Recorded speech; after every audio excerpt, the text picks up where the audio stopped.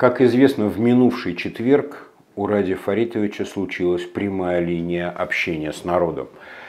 Моду приводить эти прямые линии, конечно же, задал Владимир Путин, и Хабиров в этот раз отчаянным образом косплеил своего великого кумира. Э, прямая линия длилась более четырех часов. Мало кто выдержал весь этот прямой эфир, э, отсмотрел его и понял, что там происходило, но нам пришлось это делать по долгу службы, и потому мы вам подробно сегодня об этом расскажем.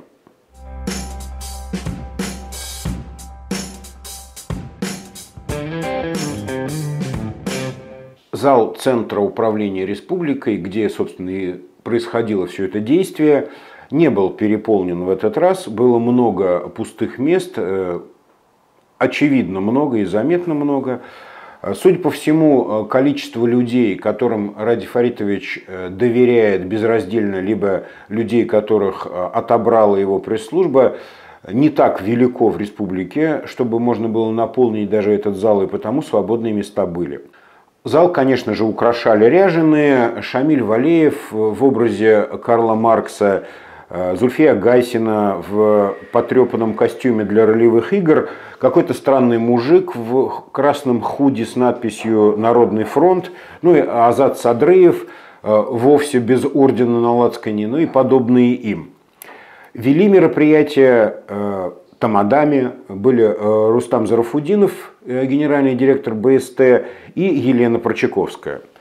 Я, честно говоря, отчаянно сочувствовал э, Зарафудинову, потому что э, торговка мануфактурой вела себя крайне развязно, и профессиональный журналист рядом с ней э, выглядел жалко. Э, Прочаковская никому не давала вставить слово, постоянно всех перебивала, включая самого Хабирова, приплясывала сидя, размахивала руками, рискуя разбить лицо несчастному Зарику, который тихонечко сидел с ней рядом. Хабиров был в этот раз в красивом строгом костюме, но почему-то в белых носках и кожаных тапочках.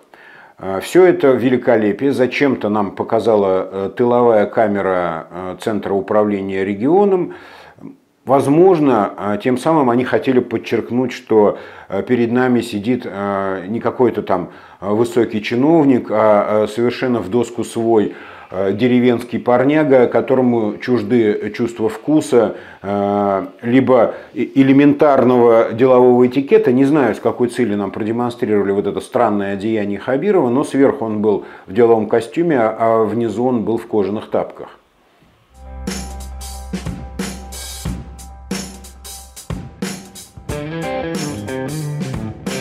Был на этой э, прямой линии Хабирова и главный казус – Дело в том, что было заранее известно о том, что в этот день и в определенное время состоится очередная лекция по мировой истории в исполнении Владимира Путина, которую он будет э, давать э, в рамках Валдайского форума. Э, пресс-секретарь Путина Дмитрий Песков строго всех предупредил, что лекция эту следует государевым людям и холопам слушать желательно стоя, что многие даже будут ее конспектировать, но Э, почему-то это пролетело мимо ушей организаторов э, прямой линии ради Хабирова. Хабиров удивительным образом пренебрег э, рекомендациями Пескова и не стал переносить время начала своей прямой линии, в отличие, например, от губернатора Саратовской области Бусаргина, который в тот же день проводил общение со, своим, со своими подданными, но э, сдвинул это общение на час вперед пропуская впереди себя Путина. Хабиров э, этого делать не стал и старика вперед себя не пропустил. Э, я не знаю, что это, удивительная смелость или просто отчаянная тупость э, пресс-службы главы региона, но тем не менее факт остается фактом.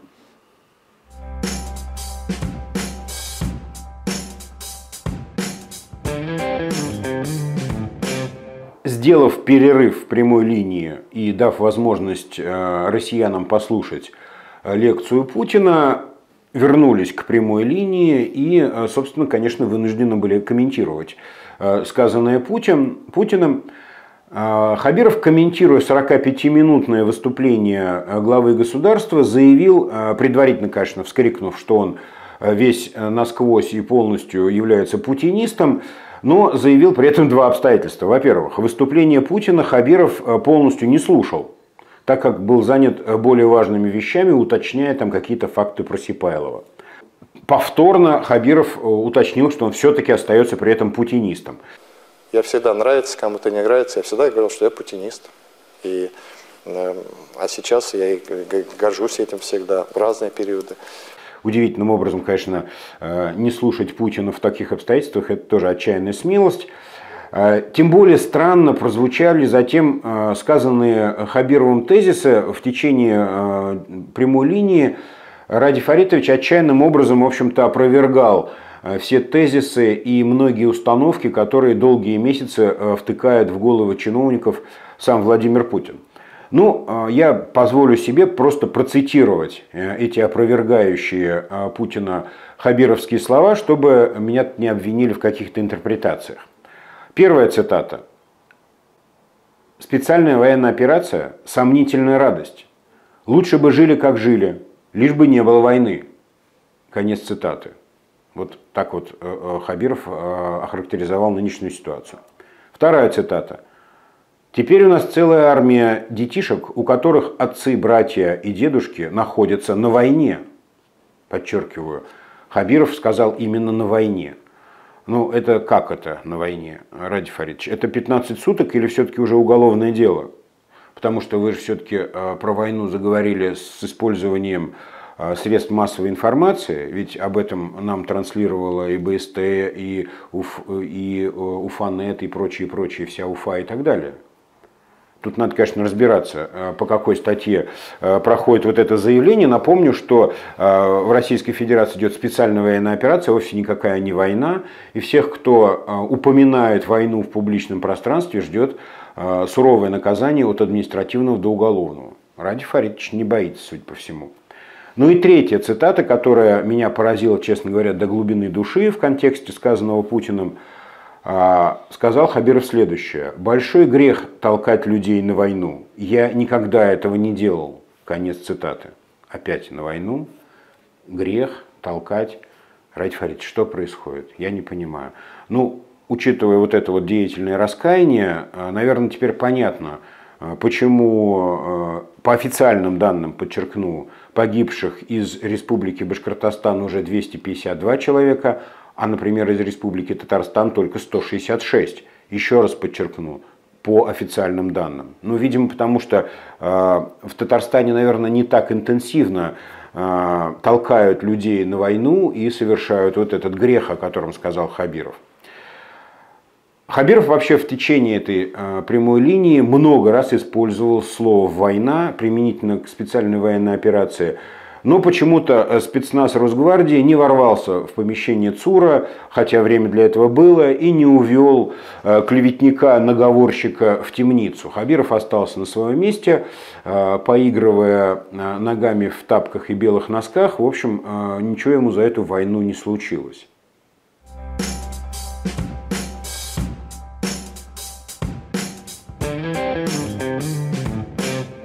Елена Прочаковская – тамада этого мероприятия на протяжении всей четырехчасовой прямой линии всячески пыталась понравиться своему шефу. В частности, она а, трижды пыталась перевести разговор а, на тему героической травмы на хоккее. А, о травмированном колене Хабирова она его переспрашивала три раза, будто бы пытаясь вызвать у бессердечного населения Башкортостана хоть каплю симпатии и сочувствия к главе Республики Башкортостан уверяя всех, э, всех в том, что ни мобилизация, э, ни дороги, ни инфляция, ни медицина не волнуют э, население Башкирии так, как волнует его драгоценная коленка Хабирова, Прочаковская махала руками, толкала несчастного Зарафуддинова. Ну, в этот момент, что казалось, что вот это вообще не прямая линия главы региона, а прямая линия самой Прочаковской. В конце концов, Хабиров начал уже как-то хищно щуриться на Прочаковскую. Она э, это дело заметила, притихла, э, бормоча что-то себе под нос, что мобилизация не что, а благоустройство и озеленение э, общественных пространств – это все для нас.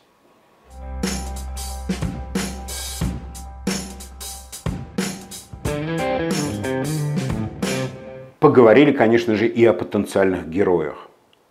В отдельности речь зашла о гордости Хабирова, об Азате-солдате Барданове.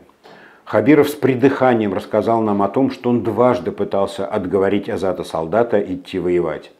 И как твердо стоял герой на своем, заявив, не может он должным образом воспитывать башкирский народ, если не повоюет с украинским. Хотя злые языки в Белом доме э, излагают эту историю несколько иначе. Дескать, после того, как э, с батальоном э, имени Шеймуратова, который придумал Азат Солдат, случилось то, что обычно случается с батальонами в условиях настоящих боевых действий, так вот после этого Хабиров страшно кричал на а-, Азата Солдата и буквально заставил написать его вот это легендарное заявление. Но, повторюсь, это все пока слухи Белого дома. Официально все звучит так, что Хабиров э, рыдал, хватал за э, обшлага э, Азата солдата, пытаясь не дать ему уйти воевать, но Азат солдат вырвался и таки пошел.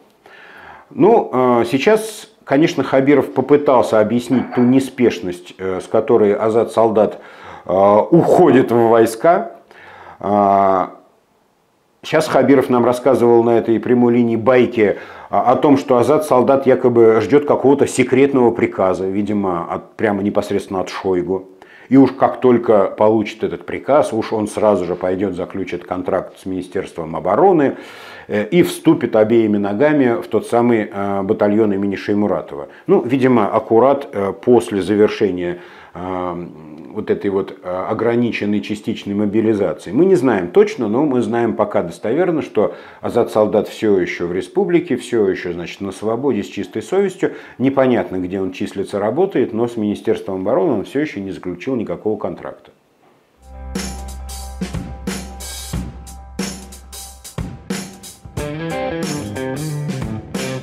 На протяжении всей изнурительной вот этой прямой линии э, из интернета поступали вопросы для главы региона, некоторые из них даже прорывались на интерактивный экран, но э, Елена Прочаковская никакого внимания не уделяла этим э, вопросам и гнула свое про посадку кустарников, про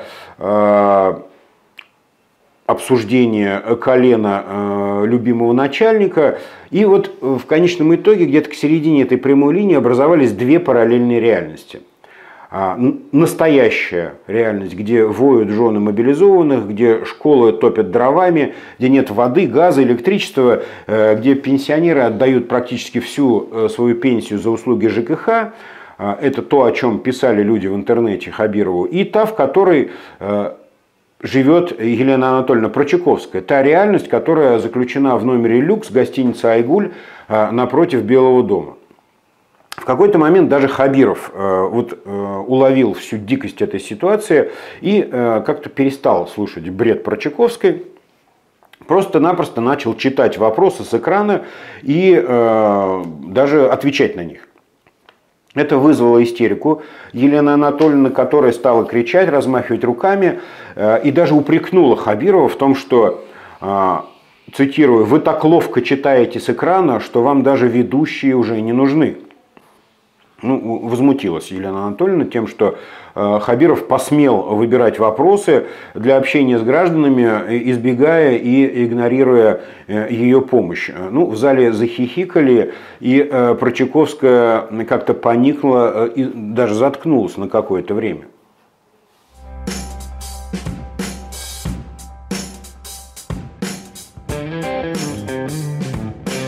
За то недолгое время, которое понадобилось э, Елене Анатольевне для того, чтобы переварить свое фиаско в роли Тамады, Хабиров успел ответить на несколько вопросов, и э, некоторые ответы на эти вопросы, в общем-то, даже были не безинтересны, так что пробежимся по ним э, по-быстрому. Поговорили про памятник Салавату Юлаеву. Э, Хабиров э, констатировал, что реконструкция неизбежна, заявил, что э, проект реконструкции монумента будет готов э, не раньше середины 2023 года. Также Хабиров сообщил, что, судя по всему, без полного демонтажа конструкции монумента обойтись не получится. Настолько в плохом состоянии находится конструкция и само тело памятника, что его обязательно нужно снять с постамента. Тем самым э, приходим к выводу о том, что 450-летие Уфы пройдет как бы в отсутствии Салавата Юлаева на постаменте. Хабирова это явно тревожит. Э, и, собственно, тревожит его, э, видимо, какая-то сакральная составляющая вот этого демонтажа монумента, как символа э, башкирского народа. И вот то, что Салават Юлаев будет снят и убран – привычного места, видимо, как-то э, мистически очень волнует Хабирова. Он даже э, сам себя спросил, э, готовы ли мы к этому, как-то очень так задумчиво. Ну, в общем, конечно, вопрос, прямо скажем, какой-то религиозного характера, но я лично полагаю, что, конечно же, памятник ремонтировать нужно, учитывая то, что он действительно в угрожающем э, состоянии находится, и делать это нужно добротно и качественно, так что не надо бояться э, кары небес, надо а, аккуратно и качественно все делать. Много и бестолково во время прямой линии говорили про разные виды спорта, но вот про футбол поговорили конкретно. Больная тема. Футбольный э, клуб Уфа проиграл все, что мог, обанкротился и остался без денег. Даже было заявление о полном сокращении штатов, включая э, там, генерального директора и главного тренера. Главный тренер что-то на что-то поменялся. В общем, адский ад творится, э, граждане беспокоятся. Хабиров подробно высказался по поводу судьбы футбольного клуба Уфа. Во-первых, он с раздражением обвинил во всех э, грехах и проблемах футбольного клуба Газизова и самих футболистов. Э, дословно это звучало так. «Я, что ли, проиграл Оренбургу?» вскричал Хабиров. Ну, действительно, это правда. Хабиров в футбол, слава богу, все еще не играет и Оренбургу не проигрывает. Наряду с этим Хабиров выдал интересную э, статистику. Оказывается, с его слов, за э, истекшие 10 лет существования вот этого футбольного клуба государство почему-то из бюджета выделило 7 миллиардов рублей этому клубу, при том, что клуб был и остается пока на данный момент частной лавочкой. Мы посчитали, за эти 10 лет финансирование от республики клуба было более 7 миллиардов рублей. При этом клуб принадлежал группе частных лиц. Это абсолютно частное заведение, принадлежащее нескольким физическим лицам. Ну и каким-то образом еще отношение к этому имел а, дружище Хабирова Мурзагулов, который там очень а, сытно пасся э, в этом футбольном клубе. И значит, оказывается, мы 7 миллиардов бюджетных денег отдали. А это не повод, чтобы прокуратура и Следственный комитет хотя бы поинтересовались, а вот на каких основаниях, кто подписал, куда делись, как расходовались. Это все-таки бюджетные деньги. 7 миллиардов, не 7 копеек. Странно. Тем не менее, Хабиров заявил, что он даст еще 200 миллионов вот буквально сейчас, а, но за это он хочет быть учредителем э, футбольного клуба. Высказался он на эту тему э, дословно и буквально так. Я не понимаю в футболе, и наш министр спорта тоже не понимает. И не собираемся, но учредителями будем. Конец цитаты. Я в футболе ничего не понимаю и не собираюсь им управлять. Точно так же, как министр спорта. Ну, собственно, вопрос, а что это изменит, во-первых? Во-вторых, почему у вас такой министр спорта, который ни черта не понимает в футболе? К слову сказать, э, Хабибов э, в любом спорте ничего не понимает, он вообще от спорта далек, был, есть и будет, потому что он никогда никаким спортом не занимался, никаких спортивных успехов не имеет, а попал э, на свою должность, извините, через другие рычаги. Э, я бы даже сказал не рычаги, а более там ниже расположенные органы.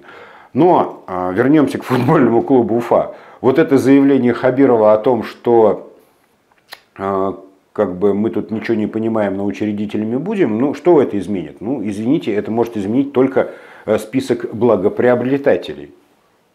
Случился во время э, прямой линии и откровенно напряженный момент. Подперев рукой голову и развалившись на стульчике, Светлана Валеева взорвала мозг Хабирова.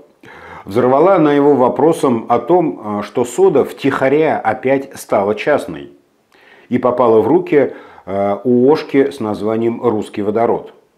То есть у нее сейчас частные появились хозяева, ну как-то очень тихо они появились, незаметно прошло для всех.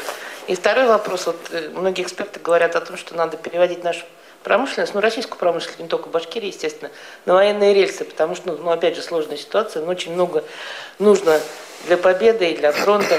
Насколько наша промышленность готова, и насколько вот в данном случае то, что сода опять частная стала, ну, как бы она нам помогает, и насколько благо для республики, и насколько, как вы к этому относитесь, потому что, ну, достаточно много переживаний было по поводу соды, по поводу сырья, как эта проблема решится. Ну, мозг Хабирова немедленно взорвался, и он начал сбивчиво пояснять заблудняк, как говорят в определенных кругах, объяснять, в общем, почему действительно сода тихонько и незаметно опять перешла в частные руки. В частности, он заявил, что только немного-немного, совсем чуть-чуть э, акций было передано в управление вот этому ООО «Русский водород», но при этом ООО «Русский водород» теперь безраздельно управляет компанией. Кроме всего прочего, ООО «Русский водород» наш единомышленник а, а не то, что раньше было. А, Хабиров заявил, что Куштау в любом случае разрабатывать не будут, э, так что э, Куштау Таратау, как говорится, forever. А, также заявил Хабиров, что Давыдов нынешний и в прошлом тоже э, директор СОДа, это просто гений, а не то, что раньше было. Ну и под конец э, Хабиров пустил слезу, э, рассказав нам, что санкции очень сильно ударили по СОДе, ее нужно очень жалеть, э, ведь она э, столько денег приносит. Правда, не уточнил Ради Фаритович, кому лично и конкретно в чьи карманы приносит деньги СОДа. В целом, э, Хабиров, конечно, в этот момент был плохо отличим от э, Хамитова, который объяснял нам в свое время, как полезно и правильно объединить каустик и соду. Э, не очень убедительно получилось у Хабирова. Повторюсь, он был очень похож на Хамитова. Оба они оправдывали некое хозяйственное решение, которое впоследствии было подвергнуто многочисленной критике и, как выяснилось, не было на самом деле выгодным для республики.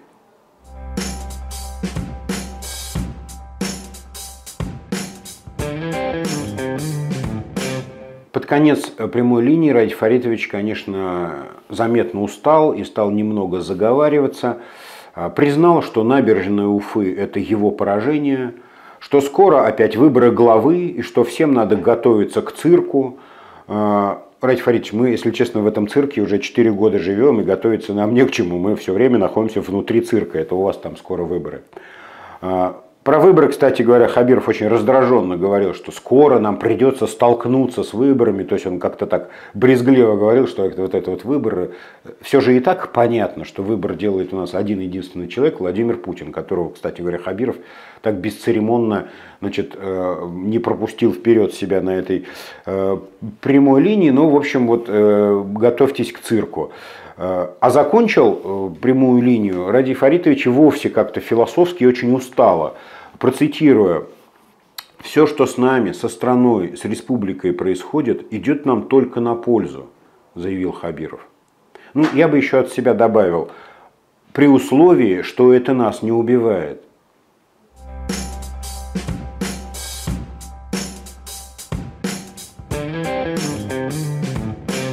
Обозрев прямую линию главы региона, не могу не рассказать вам о опросе на телеграм-канале «Открытая политика», который был у нас в минувшей неделе. Ну, все-таки обещал, что про каждый опрос буду рассказывать. Расскажу и про этот.